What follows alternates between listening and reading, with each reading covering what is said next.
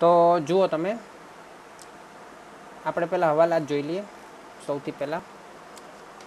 Share હોલ્ડરોને હકના share દસ ટકા પ્રીમિયમે આપેલા છે. ચલો, એ તો સિમ્પલ છે.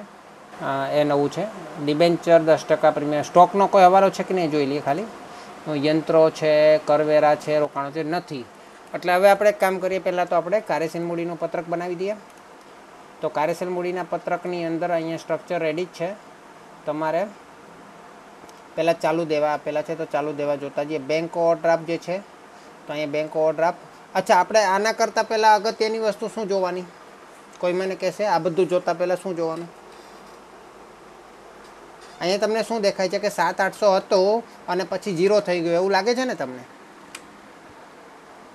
હા? પણ તમે એની તારીખ જોઈ? હે. ને ઊંધું છે. અઢાર ના ઓગણીસ છે જો સોરી પહેલાં બે હજાર ઓગણીસ આપેલું પછી બે હજાર અઢાર આપેલું છે. આવું તમને કન્ફ્યુઝ કરે. આ બીજી વખત આપણે આવું કર્યું. એટલે આના પરથી આપણને ખબર પડે બેંક ઓવરડ્રાફ્ટ પહેલાં ઝીરો હતો અને પછી સાત આઠસો થયો. તો બેંક ઓવરડ્રાફ્ટ દેવું કહેવાય. પહેલાં ઝીરો હતો અને પછી સાત આઠસો થયો. તો વધારો થયો કે ઘટાડો? તો બેંક ઓવરડ્રાફ્ટમાં વધારો થયો, પરંતુ ચાલુ દેવામાં વધારો. એટલે કાર્યશીલમડીમાં ઘટાડો એટલે ઘટાડા બાજુ લખીએ. બરાબર છે? ત્યાર પછી પરચુરણ લેણદારો. પરચુરણ લેણદારોમાં શું છે? ચોર્યાસી આઠસો હતી. ચોર્યાસી આઠસો પરચુરણ લેણદારો હતા. હવે પરચુરણ લેણદારો ચોર્યાસી આઠસોમાંથી અઠ્યોતેર ચારસો થયા. પરચુરણ લેણદારો એટલે આપણે લેણદારો. ચોર્યાસી આઠસોમાંથી અઠ્યોતેર ચારસો થયા. તો વધ્યા કે ઘટ્યા? ઘટ્યા. પરંતુ ચાલુ દેવામાં ઘટાડો એટલે કાર્યશીલ મૂડીમાં વધારે બાજુ લખવાનું. ત્યાર પછી શું આપેલું છે? દેવી ઊંડી. છ ચારસોમાંથી અઢાર આઠસો થઈ. તો શું થયું? વધ્યું કે ઘટ્યું? ઘટ્યું. ઘટ્યું તો શું થયું? વધારો થયો. કાર્યશીલ મૂડીમાં ઘટાડો ચાલુ દેવામાં વધારો. એટલે કાર્યશીલ મૂડીમાં, અરે ચાલુ દેવામાં ઘટાડો. એટલે કાર્યશીલ મૂડીમાં વધારો. ચાલુ દેવામાં ઘટ, વધારો. એટલે કાર્યશીલ મૂડીમાં ઘટાડો. ત્યાર પછી પણ છે કંઈક. ગાલખાદાના અનામત પાંચ બસો પાંચ બસોમાંથી કેટલી થઈ? પાંચ બસોમાંથી કેટલી થઈ? ગાલખાદ અનામત પાંચ છસો. શું થયું? કાર્યશીલ મૂડીમાં અહીંયા આપણે ચાલુ દેવામાં વધારો થયેલો કાર્યશીલ મૂડીમાં ઘટાડો થયો. એ જ પણ ચારી ચાલુ મિલકતમાં સીધું આવે ને? ચલો આપણે નીચે જોઈએ ચાલુ મિલકતમાં શું છે? સ્ટોક. બે લાખ ચાર હજાર આઠસોમાંથી બે લાખ ચાર હજાર આઠસોમાંથી બે લાખ સુડતાલીસ હજાર છસો. બોલજો. બે લાખ ચાર હજાર. આઠસોમાંથી બે લાખ છે ને? બે લાખ ચાર હજાર આઠસોમાંથી બે લાખ, બોલો કેટલા છે? સુડતાલીસ હજાર છસો. આવું જ છે ને? ભૂલ હોય તો કહેજો વચ્ચે વચ્ચે.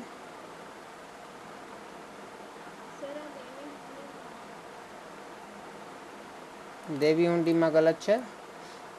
છ ચારસોના અઢાર આઠસો. છ ચારસોના અઢાર આઠસો છે. ઓકે. અઢાર આઠસો. ઓકે. ચલો, ત્યાર પછી? ત્યાર પછી શું છે? હા, એક લાખ છત્રીસ હજાર છસોમાંથી એક લાખ સત્યાસી હજાર છસો. એક લાખ છત્રીસ હજાર છસોમાંથી એક લાખ સત્યાસી હજાર છસો. રકમમાં ભૂલ હોય તો કહેતા રહેજો. ત્યાર પછી ચુમ્માલીસ હજારમાંથી છત્રીસ હજાર, લેણી ઊંડી ચુમ્માલીસ હજારમાંથી છત્રીસ હજાર. ત્યાર પછી શું કહે છે? દેવાદારો લેણીની રોકડ સિલકમાં હજારમાંથી બે હજાર, હજારમાંથી બે હજાર. રોકડ સિલક બેંક સિલક છે, રોકડ લખી દઈએ.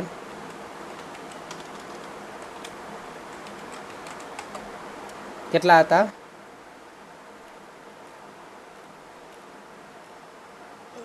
એક હજારનાથી બે હજાર.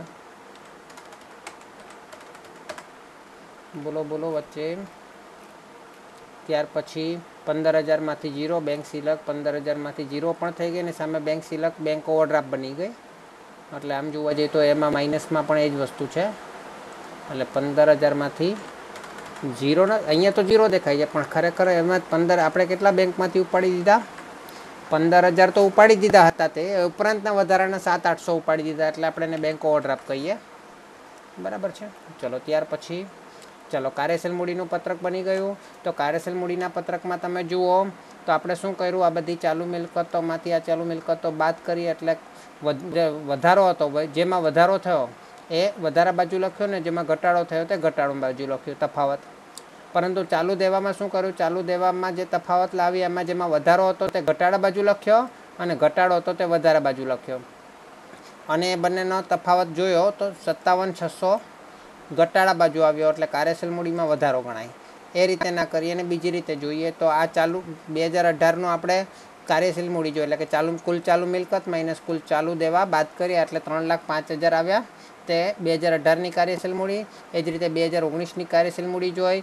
એ બંનેનો જે તફાવત હતો, તો જોયું તો એમાં કાર્યશીલ મૂડીમાં વધારો દેખાય છે, એટલે સત્તાવન છસો કાર્યશીલ મૂડીમાં વધારો. કાર્યશીલ મૂડી વધે, એટલે ચાલુ મિલકતનો, ચાલુ મિલકતમાં વધારો કહેવાય ને ચાલુ મિલકત આપણી પાસે એમને એમ નહીં વધે. પૈસા કશે આપીએ તો પછી મિલકત આવે. તો પૈસા આપણા જશે. પૈસા જાય તો ક્યાં લખાય? બેંક ખાતે જમા. બેંક ખાતે જમા એટલે આપણે ભંડોળ પ્રવાહ પત્રકની અંદર ક્યાં લખાય, જમા બાજુ પૈસા જાય, પૈસાનો ઉપયોગ થાય. અને તો શું લખશું? કાર્યશીલ મૂડીમાં વધારો. કેટલો થયો? કાર્યશીલ મૂડીમાં વધારો? સત્તાવન હજાર છસો. બરાબર ને? સત્તાવન હજાર છસો. ક્લિયર ચલો, હવે આપણે આગળ જોઈએ. હવે આપણે પહેલાં તો છે ને શેર હોલ્ડરોને હકના શેર દસ ટકા પ્રીમિયમે આપેલા છે. તો શેર હોલ્ડર એટલે ઇક્વિટી શેર હોલ્ડરનું ખાતું બનાવી દઈએ. તો ઇક્વિટી શેર હોલ્ડરનું ખાતું ઇક્વિટી શેર હોલ્ડર પહેલાં કેટલા હતા? ત્રણ લાખ વીસ હજાર ને પછી કેટલા થયા? ચાર લાખ થયા. ઇક્વિટી શેર હોલ્ડર બાકી આગળ લાવ્યા કેટલા? જમા બાકી ત્રણ લાખ વીસ હજાર. અને બાકી આગળ લઈ ગયા કેટલા થયા? ચાર લાખ. ક્લિયર ચલો. હવે શેર હોલ્ડરને હકના શેર દસ ટકા પ્રીમિયમે આપેલા છે. તો ત્રણ લાખ વીસ હજારના ચાર લાખ થયા. એનો મતલબ કે કેટલા ઇક્વિટી શેર વધ્યા? ઇક્વિટી શેર મૂડી કેટલી વધી? હકના શેર કેટલા વધ્યા? શેરની સંખ્યા રૂપિયા કેટલા વધ્યા? ત્રણ લાખ વીસ હજારના ચાર લાખ થયા તો કેટલા વધ્યા?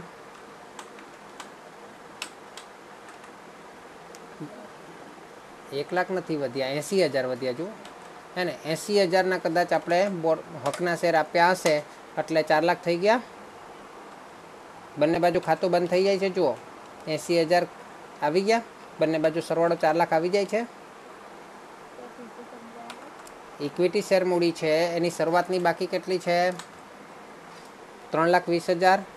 સોરી આપણે ઊંધું હતું ને એમાં ઉપર. આપણે જોવું પડશે. હા, બરાબર છે. ત્રણ લાખ વીસ હજાર શરૂઆતની બાકી છે. પાકા સરવાયામાં. અને છેવટની બાકી ચાર લાખ છે. હે ને? તો બાકી આગળ લાવ્યા કેટલા લખાય? ત્રણ લાખ વીસ હજાર લખાય. અને છેવટની બાકી, એટલે બાકી આગળ લઈ ગયા કેટલા લખાય? ચાર લાખ લખાય. હવે ચાર લાખ કેમ થઈ ગયા? ત્રણ લાખ વીસ હજારમાંથી ચાર લાખ કેમ થઈ ગયા? તો નવા શેર બહાર પાડ્યા હશે એંસી હજારના? નવા શેર બહાર પાડ્યા કહેવાય. હકના શેર એટલે નવા શેર જ બહાર પાડ્યા કહેવાય. પરંતુ જૂના શેર હોલ્ડરોને જે પૈસા, એ શેર આપવાના એમ. તો કેટલા બહાર પાડ્યા હશે? એંસી હજાર બહાર પાડ્યા હશે? તો ચાર લાખ થઈ ગયા બંને બાજુ? એટલે નવા શેર બહાર પડ્યા, હકના શેર બહાર પડ્યા, એટલે બેંક ખાતે ઉધાર તે શેરમૂડી ખાતે જમા. બરાબર ને? બેંક ખાતે સોરી પૈસા આવે છે. તો બેંક ખાતે ઉધાર તે શેરમૂડી ખાતે જમા લખી દીધા. તો બેંક ખાતે ઉધાર કરવાના એંસી હજાર. તો બેંક ખાતે તો આપણે ઉધાર કરશું. પરંતુ અહીંયા આપણે જામીનગીરી પ્રીમિયમ ખાતે આવશે.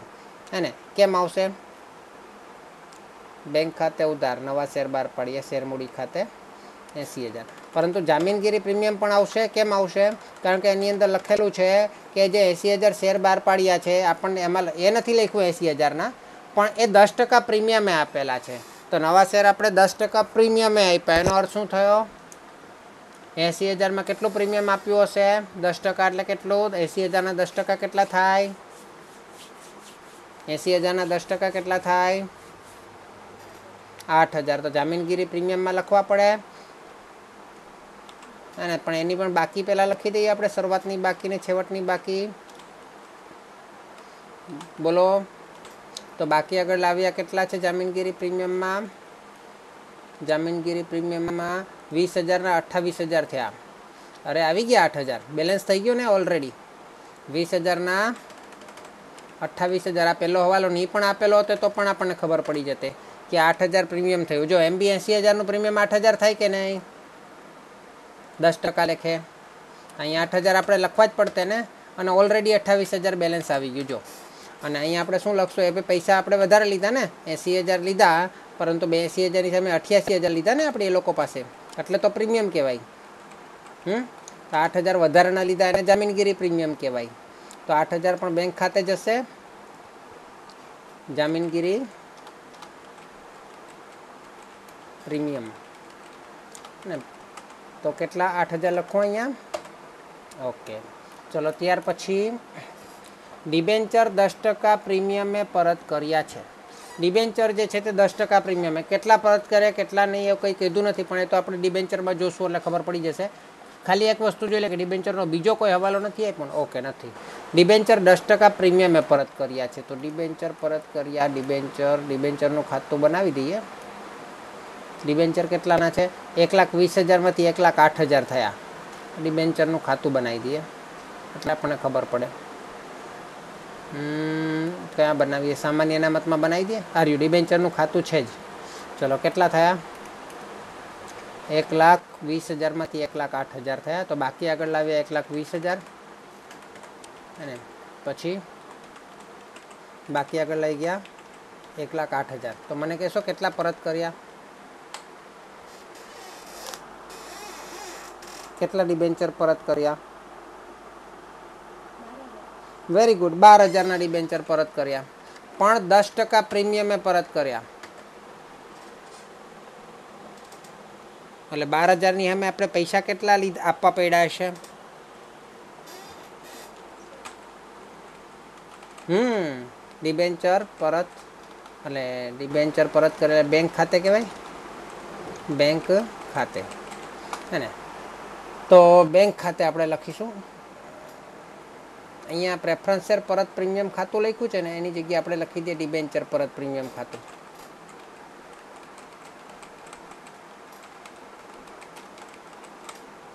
અને એ આપણા માટે નુકસાન કહેવાય. તો ડિબેન્ચર પરત પ્રીમિયમ કેટલા? બાર હજારના બારસો રૂપિયા. તો અહીંયા બારસો રૂપિયા લખી દો એની સાથે સાથે ત્યાં પણ બેંક જ લખવા પડશે ને કે કેટલા પૈસા આપણે જશે. હમ? બેંક ખાતે. તો કેટલા થશે? બાર હજાર પ્લસ બારસો તેર બસો તો બેંક ખાતે ડાયરેક્ટ તેર બસો લખી દો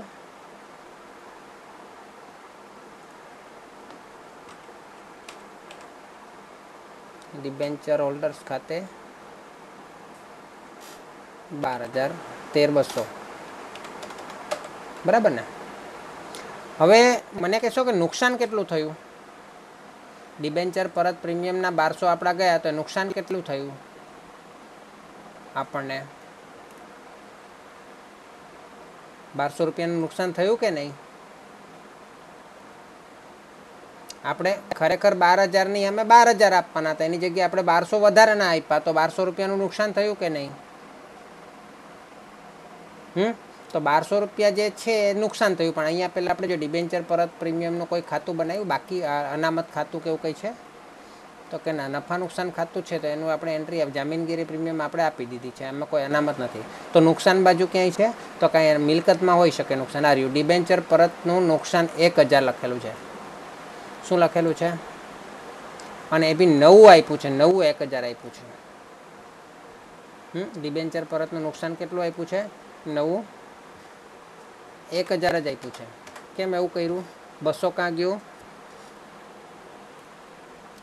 દસ બસો કાં ગયું? તો પેલા બાર હજારમાં હું થયું? ડિબેન્ચરનું કંઈ બીજું વધતું નથી ને? હા, ડિબેન્ચર વટાવ છે. પાંચ હજારના ત્રણ હજાર તે તો માંડીવાળા. શેર બહાર પડવાનો ખર્ચ પણ થયો છે, કંઈ વાંધો નહીં. ડિબેન્ચર દસ ટકા પ્રીમિયમે પરત કર્યા.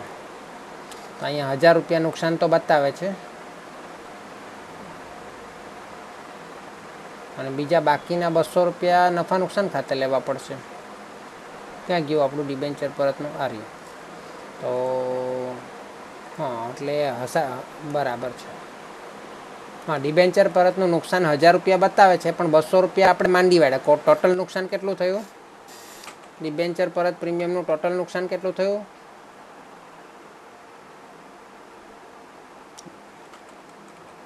બોલો.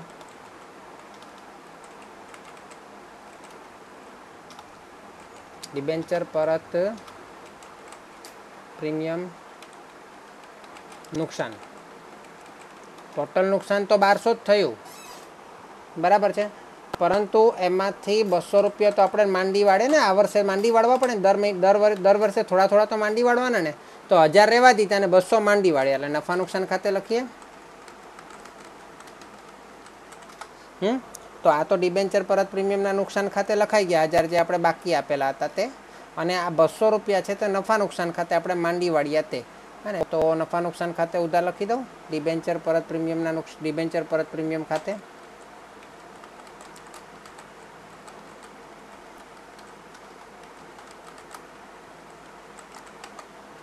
કેટલા છે? બસો. ક્લિયર થયું આ ટોપિક બોલો, આ ટોપિકમાં કોઈ ક્લિયરિટી કે નહીં? નહીં હોય તો ફરીથી કરાવું. ફરીથી કરાવું. હો ગયા ને? ઓકે. ચલો ત્યાર પછી આઠ હજાર બસોના યંત્રો વર્ષની છેલ્લી તારીખે નકામાં જઈ નકામાં થઈ જતાં રદ કર્યા. રદ કરેલ યંત્ર પર એકઠો થયેલ ઘસારો પાંચ હજાર હતો. ખોટ નફા નુકસાન ખાતે માંડીવાળી. સિમ્પલ છે પણ પહેલાં આપણે જોઈ લેવાનું કોઈ પણ મિલકતમાં કોઈ પણ પાકા સરવૈયામાં આપણને મિલકતો આપી હોય પ્લાન્ટ એટલે કે એ જ યંત્રો કહેશું આપણે. અને કોઈ મિલકતો આપેલી હોય તો સામેની બાજુ, એટલે કે દેવા બાજુ જોઈ લેવાનું કે ઘસારાની જોગવાઈ આપેલી છે કે નહીં. જો ઘસારાની જોગવાઈ અહીંયા આપેલી હોય કશે હે ને જો અહીંયા આપેલી છે. જો આપેલી હોય તો આપણને જે મિલકતની કિંમત આપી છે તે પડતર કિંમત એટલે કે મૂળ કિંમત આપી હોય, અને ત્યારે તમારે ઘસારાની જોગવાઈનું ખાતું બનાવવાનું એટલે બનાવવાનું. હે ને? એટલે આ યંત્રોની કિંમત કઈ છે? મૂળ કિંમત એટલે કે પડતર કિંમત.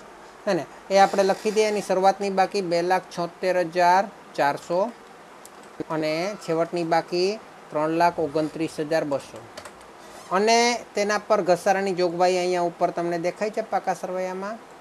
એક લાખ ઓગણત્રીસ હજાર, સોરી, એ છેવટની છે. એટલે એકાણું હજાર છસો અને છેવટની બાકી છે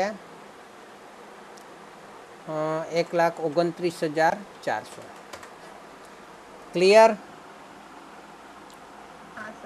ઓકે હવે આમાંથી કોઈ યંત્ર વેચ્યા છે કે નહીં એ બધું આપણે જોઈએ પછી. ના બીજા કોઈ હવાલામાં વેચ્યા છે એવું પણ આપેલું નથી.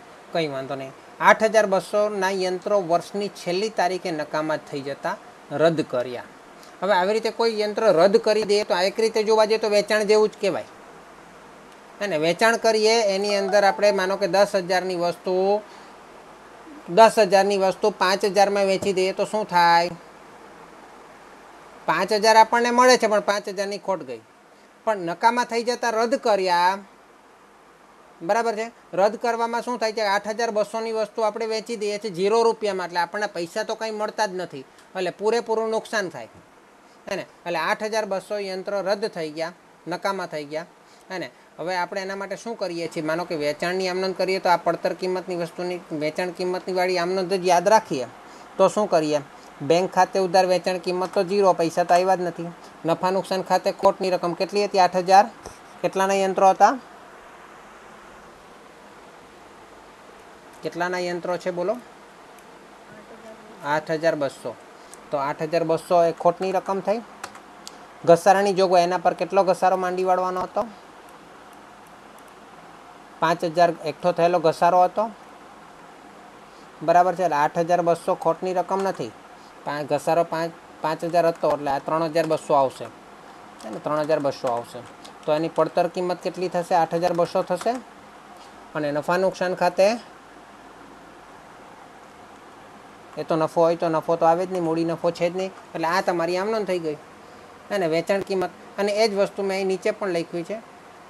એ તો પૂરેપૂરી મિલકત આપણે માંડી વાળીએ તે અને ઘસરાની જોગવાઈ ખાતે અહીં આપણે પાંચ હજાર લખેલા જ છે. બરાબર છે? એટલે આ તમારી આમનો થઈ. તો નફા નુકસાન ખાતે ઉધાર કેટલા થશે? ત્રણ હજાર બસો થશે. ઘસારાની જોગવાઈ ખાતે ઉધાર કેટલા થશે? પાંચ હજાર થશે કે એકઠો થયેલો ઘસારો અથવા એકત્રિત ઘસારો? અને મિલકતની કિંમત કેટલી હતી? આઠ હજાર બસો. આઠ હજાર બસોની વસ્તુ આપણે ફેંકી દીધી. ફેંકી દીધી એટલે શું થયું? બહુ પૂરેપૂરું નુકસાન જ કહેવાય, પરંતુ એમાંથી પાંચ હજાર ઘસારાનું નુકસાન ઓલરેડી આપણે બાદ કરવાનું હોય અને ત્રણ હજાર બસો પહેલાં. હે ને? એટલે આપણે શું કરશું? મિલકત ખાતે આઠ હજાર બસો જમા બાજુ લખશું, પરંતુ ત્યાં બે વિગત લખશું, ત્રણ હજાર બસો અને પાંચ હજાર. એ રીતે લખશું. તો યંત્ર ખાતે ઉધાર આઠ હજાર બસો, પરંતુ ત્યાં બે રીતે લખશું, ત્રણ હજાર બસો અને પાંચ હજાર. બરાબર છે? પાંચ હજાર આપણો એકઠો થયેલો ઘસારો એટલે ઘસારાની જોગવાઈ ખાતે.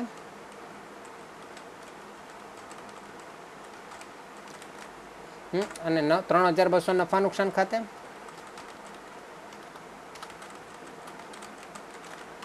એની ક્રોસ એન્ટ્રી આપીએ. ઘસરાની જોગવાઈ ખાતે એની નીચે જ આપણે બનાવ્યું છે યંત્ર ખાતે. બરાબર છે? માંડી વાળેલ યંત્રનો એકત્રિત ઘસારો.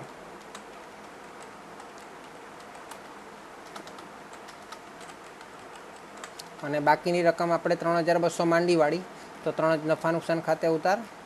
ત્રણ હજાર બસો. યંત્ર પ્લાન્ટ યંત્ર પર ઘસારો નહીં. યંત્ર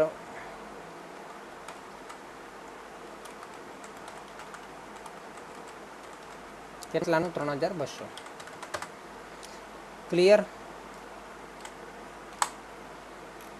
આમાં કોઈ ટોપિક પૂછવાનો આ બાબતમાં, આ હવાલામાં? બોલો. કરવેરા બાર હજાર ચૂકવ્યા. કરવેરાનું આપણે જોઈએ. કરવેરાની શરૂઆતની દસ હજાર, છેવટની બાર હજાર. કરવેરાનું ખાતું કરવેરાનું ખાતું આપણે બનાવીએ જ છીએ. આમાં નથી દેખાતું. હાર્યું શરૂઆતની કે આખી કેટલી છે? દસ હજાર, છેવટની બાકી કેટલી છે? બાર હજાર. એટલે આપણે દસ હજારની જોગવાઈ કરેલી હતી, પણ આપણે ચૂકવવા કેટલા પડ્યા હવાલામાં લખેલું છે બાર હજાર ચૂકવવા પડ્યા, એટલે બે હજાર વધારે ચૂકવવા પડ્યા. તો આપણે બે હજાર ઘટશે, એટલે બાર હજારનું હજુ પાછો આવતા વર્ષે કરવેરો ચૂકવવાનો, બે હજાર ગયા વખતના ઘટ્યા, તો બારને બે ચૌદ હજાર તમારા આ બાજુ આવવા જોઈએ. નફા નુકસાન ખાતે કેટલી જોગવાઈ કરવી પડે? ચૌદ હજારની. તમે બંને બાજુ સરવાળો કરો તો ચૌદ હજાર આવી જવા જોઈએ. એ આપણે છેલ્લે કરશું. પહેલાં બેંક ખાતે બાર હજાર લખી દઈએ. હે ને? તો કરવેરા ચૂકવ્યા તેના. બેંક ખાતે બાર હજાર લખી દઈએ.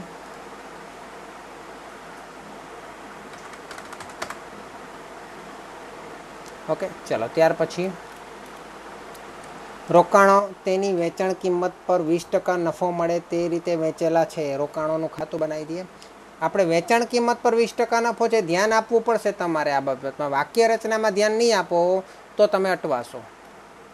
વાક્ય રચનામાં ધ્યાન નહીં આપશો તો અટવાશો. રોકાણો કેટલાના છે? વીસ હજાર છે શરૂઆતની બાકી. આ મિલકત કહેવાય એટલે ઉધાર બાકી આવે અને છેવટની બાકી ઝીરો છે. એટલે સિમ્પલ છે, આપણે કેટલાના રોકાણ વેચ્યા? વીસ હજારના વેચ્યા.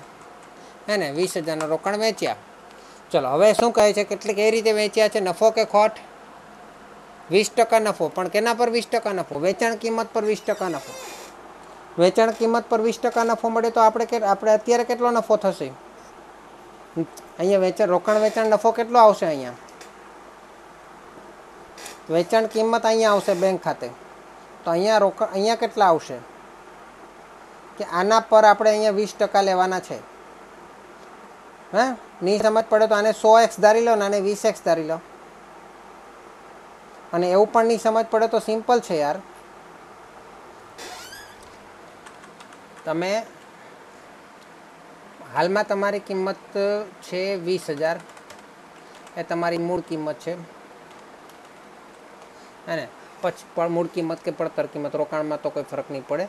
અને ત્યાર પછી એમાં નફો લેવાનો છે અને વેચાણ કિંમત થાય.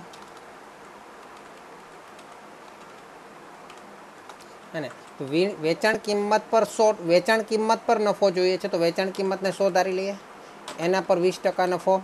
વીસ ટકા નફો પ્લસ કરીએ તો સો થાય. તો આ કેટલા ટકા હોવા જોઈએ? એંસી ટકા હોવા જોઈએ?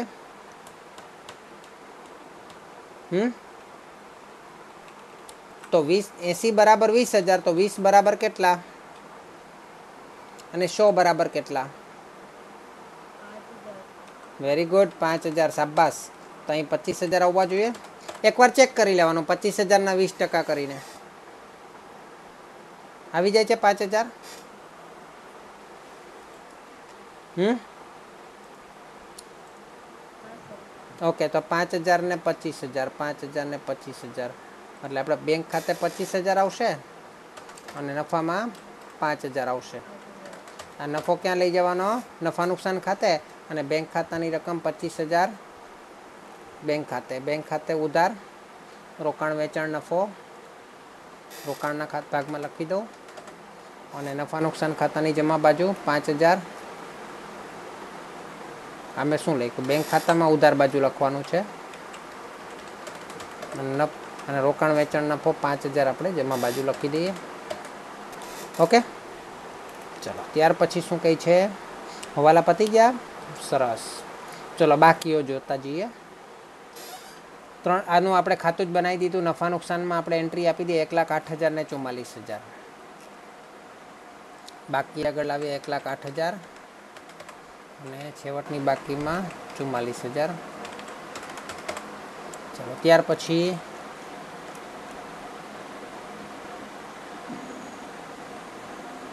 વીસ હજારના અઠ્ઠાવીસ હજારે તો જામીનગીરી પ્રીમિયમનું તો ખાતું બનાવી દીધું.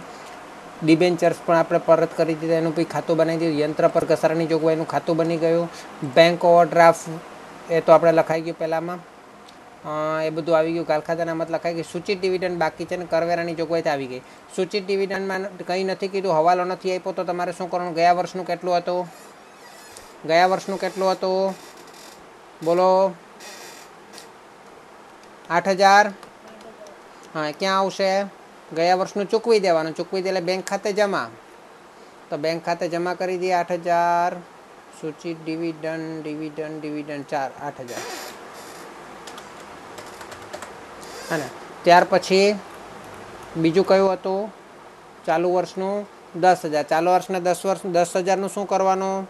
એ તો આવતા વર્ષે ચૂકવવાનું છે. પણ પૈસા ક્યારે ભેગા કરવાના? આ વર્ષે કરવાના. એટલે ક્યાં આવશે? જોગવાઈ કરવાની. ક્યારે કરવાની? નફા નુકસાનમાંથી કરવાની. ત્યાં ને વર્ષ પૂરું થાય એટલે દસ હજારની જોગવાઈ કરવાની. તો નફા નુકસાન ખાતે શું કરવાનું? જોગવાઈ કરી નફામાં ઘટાડો થાય એટલે નફા નુકસાન ખાતે ઉધાર કરવાનો. તો નફા નુકસાન ખાતે ઉધાર કરી દઈએ. દસ હજાર. ક્યાં લખ્યું છે? હા ડિવિડન્ડની જોગવાઈ. ચલો, ત્યાર પછી હા, કરવેરાની જોગવાઈનું તો આપણે ખાતું બનાવી દીધું, યંત્રનું બની ગયું પાઘડી. પચાસ હજારમાંથી જીરો થઈ ગઈ. શું શું કહેશું આને? પચાસ હજારમાંથી જીરો કઈ રીતે થઈ? પચાસ હજારમાંથી જીરો કઈ રીતે થઈ? માંડીવાળી, પાઘડી માંડીવાળી. તો કેટલી પાઘડી હતી? પચાસ હજાર. માંડીવાળી એટલે શું થાય? નફા નુકસાન ખાતે ઉધાર. કેટલા? દસ, પચાસ હજાર. આટલી બધી પાઘડી માંડીવાળી, જો? ચલો. નુકસાન કહેવાય એટલે નફા નુકસાન ખાતે ઉધાર.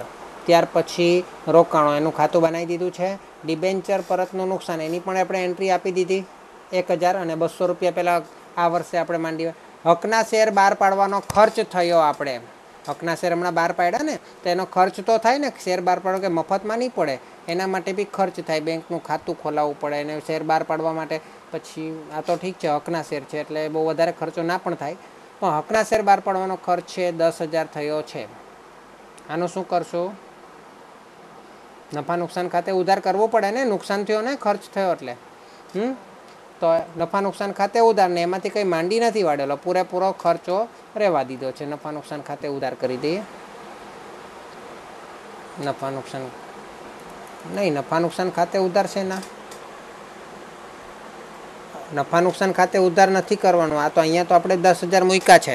એટલે નફા નુકસાન ખાતે ઉધાર કરવાની જરૂર નથી. પરંતુ રો, ખર્ચ કર્યો તો પૈસા ગયા ને? તો દસ હજાર રૂપિયા ગયા એ લખવાના છે. ઓકે. એટલે અહીંયા આપણે લખીએ, હકના શેર બહાર પડવાનો ખર્ચ પૈસા ગયા તે. નફા નુકસાન ખાતે ઉધાર નથી કરવાનો કર્યો. એ હકના શેર બહાર પડવા, હકના શેર બહાર પાડવાના ખર્ચ ખાતે જ ઉધાર કરી દીધું છે. એટલે તો મિલકતમાં આવ્યું. હે ને? એટલે રોકડ એટલે આપણે શું કે હકના શેર બહાર પાડવાનો ખર્ચ.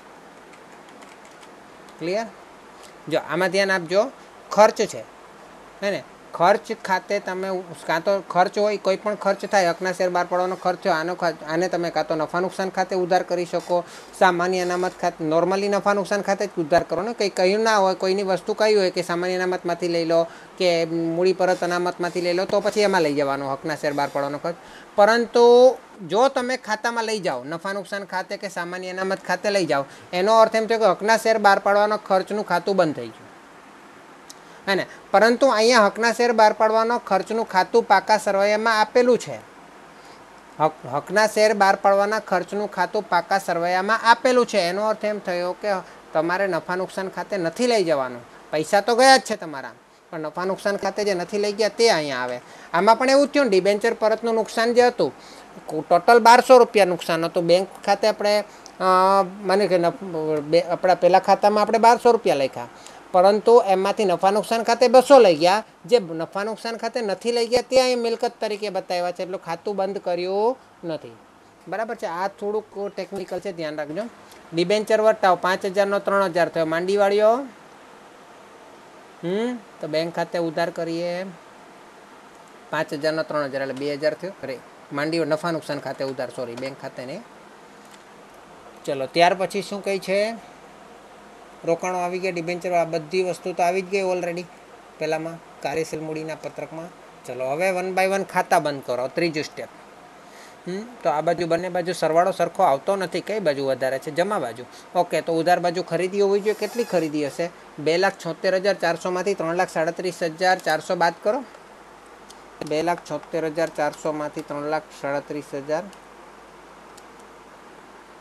ચારસો. કેટલી ખરીદી છે? એકસઠ હજાર છે? ઓકે. તો એકસઠ હજારની ખરીદી કરીએ તો બંને બાજુ સરવાળો સરખો આવે છે. તો એને આપણે લખી દઈએ બેંક ખાતાની જમા બાજુ, ઉપયોગ બાજુ, એકસઠ હજાર યંત્રની ખરીદી.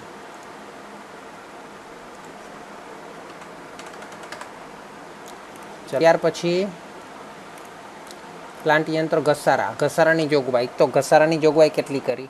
તો આમાં પણ બંને બાજુ સરખોવાળો સરખો નથી આવતો, તો નફા નુકસાન ખાતે ઘસારાની કેટલી જોગવાઈ કરવી પડશે આપણે જોઈએ?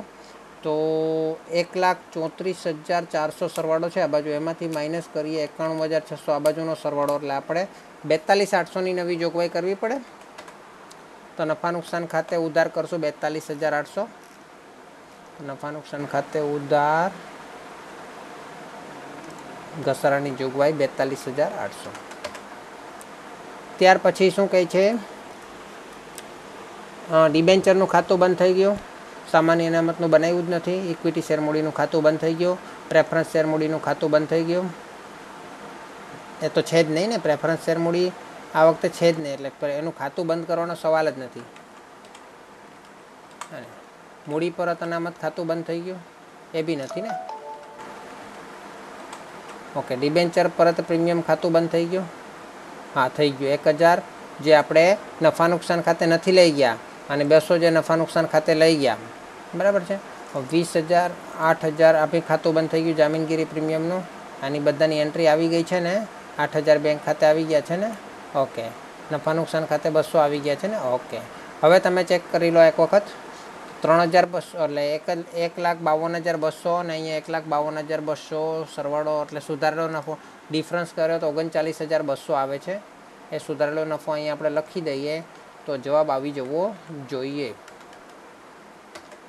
એક લાખ બાવન હજાર બસો આવે છે અને અહીંયા એક લાખ એક્યાસી, એકસઠ હજાર આઠસો છે. કોઈ એન્ટ્રી બાકી છે કરવાની? આપણે જરા ચેક કરી લઈએ. એક લાખ બાવન હજાર બસો માઇનસ એક લાખ એકસઠ હજાર આઠસો. નવ હજાર છસોની કોઈ એન્ટ્રી બાકી છે. અને તો નવ હજાર છસોની એન્ટ્રી આપણે જોઈએ. કઈ એન્ટ્રી બાકી છે? ઘણીવાર આપણે જીરો તે દિવસે જીરોને લીધે પ્રોબ્લેમ થઈ ગયો હતો નવ હજાર છસો.